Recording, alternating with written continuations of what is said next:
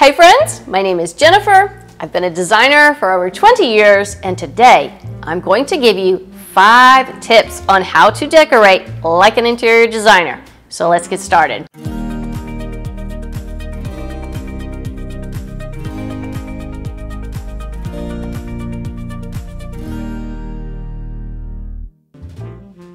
So before I jump into giving you my five tips, be sure you're subscribed to the channel and following me on Instagram. So whether you're starting from scratch or you're looking to refresh your home, mastering the art of interior decorating can seem like a daunting task. Well, in today's video, we're diving into the world of interior design and I'll be sharing five practical tips that will have your home looking like it's straight out of a magazine. So grab a pen and paper because by the end of this video, you'll be armed with the knowledge to decorate with confidence and style. Number one, lighting. Choosing lighting is crucial in interior design as it significantly impacts the ambiance, functionality, and overall aesthetics of a space. When possible, I recommend replacing builder grade light fixtures with a more unique selection to immediately elevate a space. Builders often choose fixtures that are, well, cheaper, but more importantly, they choose fixtures that are plain. Why? Well, because they want to provide the homeowner with a fixture that can go with any decor style.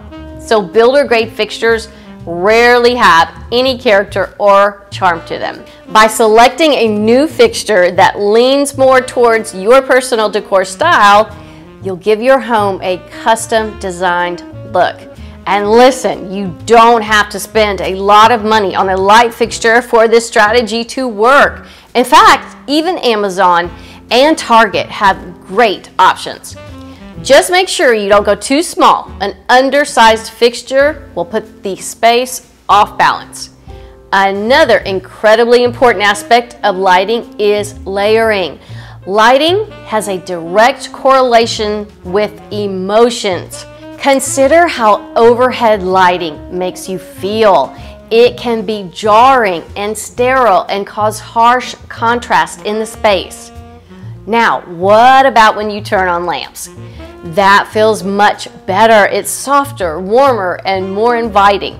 I recommend having a minimum of three lamps in a space, but depending on the size of the room, you could do more.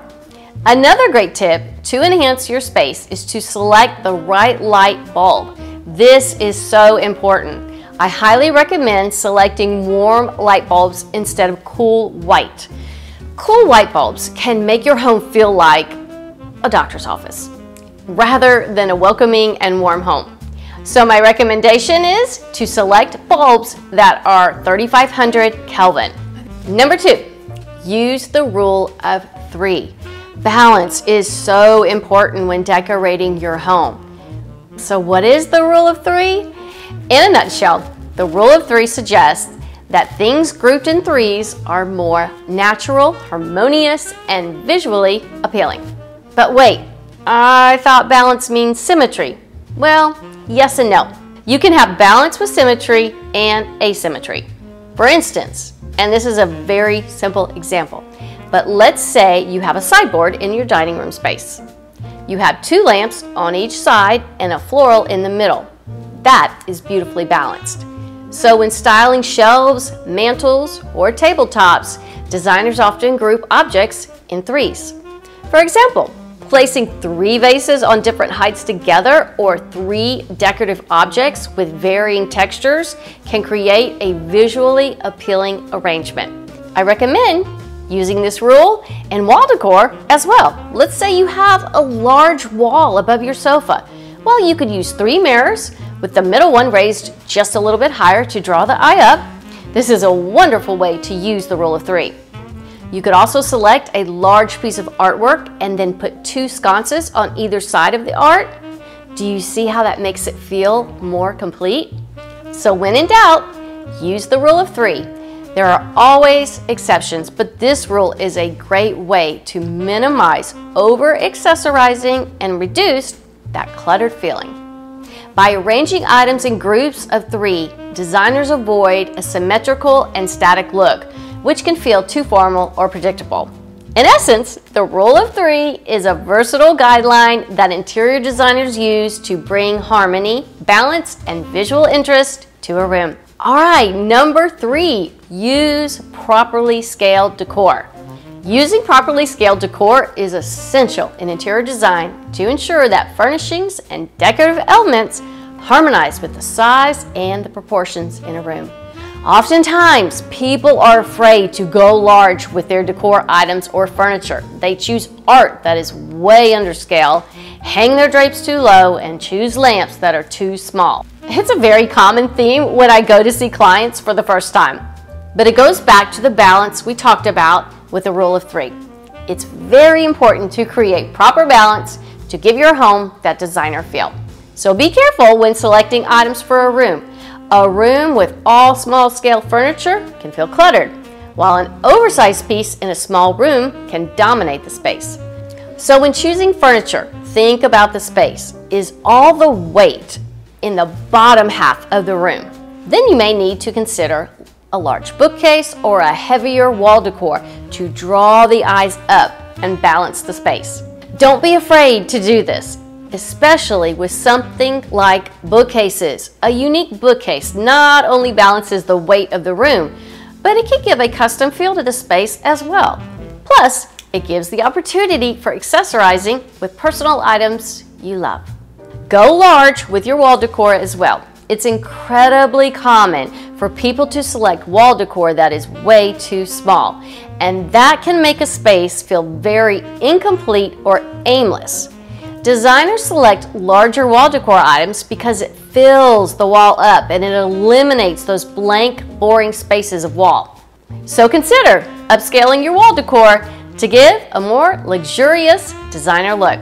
By paying attention to scale, and proportion, interior designers ensure that every element within a room contributes to a cohesive and harmonious design. It's about striking the right balance between functionality, aesthetics, and the unique characteristics of the space. Number four, cohesive color palette. Choosing a color scheme is a fundamental aspect of interior design that sets the tone, enhances the atmosphere, and it ties together the overall look of a space. For a truly designer look, mix patterns and colors, but keep them cohesive. A great rule of thumb is that your palette throughout the space should never be matchy-matchy, but always coordinate. This should actually give you some freedom Rather than needing to perfectly match every pillow, drape, and rug, you want them to go well together. This means you need to plan out your color scheme, but we will get to more of the planning in tip number five. So how do you do this? Well, first, you need to select your color palette. Maybe your space is already painted or you already have a piece of furniture or textile you need to work with. Well, Pinterest is a fantastic tool for those who struggle with coming up with cohesive colors. Just search blue color palette or natural or neutral color palette and there are thousands of beautiful examples of colors and patterns that work well together. Pinterest can work as a great inspiration for landing on a cohesive color scheme. And along these lines, don't be afraid to mix patterns. This is a great strategy of a good designer. For instance, stripes go wonderfully with organic patterns. Incorporate texture and patterns throughout fabrics, rugs, and accessories to add depth and interest to the color scheme. Mix different textures to prevent monotony and enhance visual appeal. You can mix contrasting patterns and colors in a way that feels intentional and it will prevent a space from feeling too plain, but rather designed with a professional eye. Ultimately, the color scheme should reflect your personal style and preferences. Don't hesitate to experiment with different combinations until you find the one that resonates with you and complements your space. Number five, pay attention to the details and plan them well. The key to a great design is the details, and rarely do they just fall into place. They need to be intentionally planned and chosen. Planning the details of a design is a crucial step for interior designers to ensure that every aspect of a space contributes to its functionality, aesthetics, and overall ambiance. So I highly recommend using a tool like Canva to make a mood board. What is a mood board?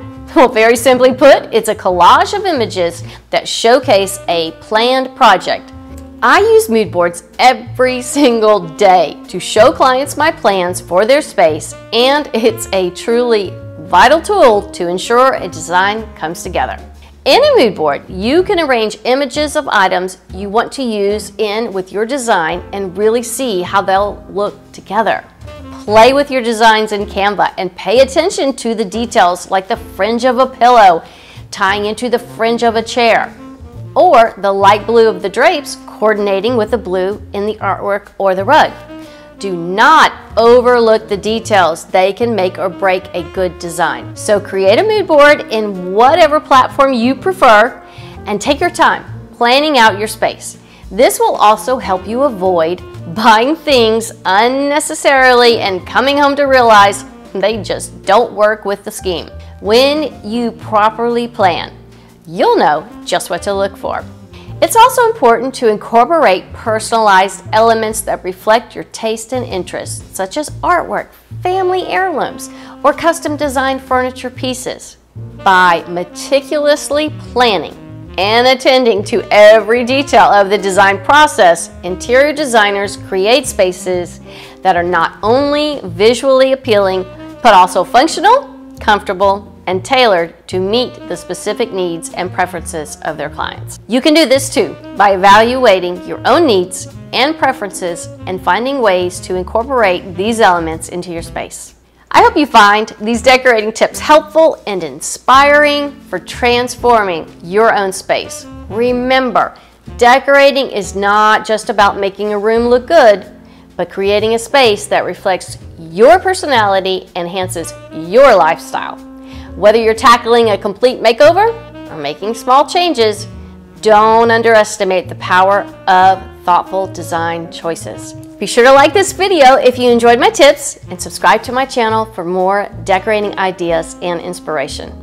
I'll see you in the next video. Have a wonderful day.